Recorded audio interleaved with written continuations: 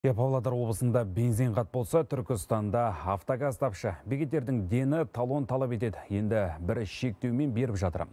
Кейбірінде отын атымен жоқ. Салдарынан көлік жүргізушілері бірнеше күннен бері әбігерге түскен.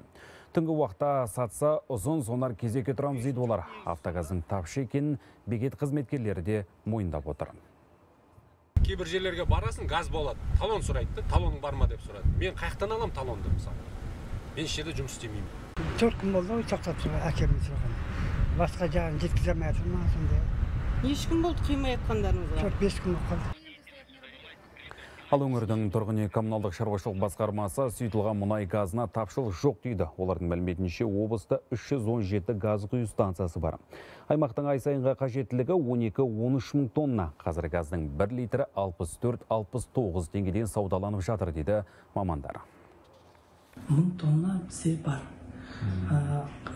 ол енді жаңағы жеткіліксіз деп айтылып жатқан жағдай. Бізде газды біз э, петроказахстан ойл продакс жауапкершілігі серіктесіне аламыз. Он күн газ тарату кішкене тоқтатылған. Он күнге қазіргі кезде сол баяу баяу беріліп жатыр да газ. Беріліп жатыр бірақ баяу.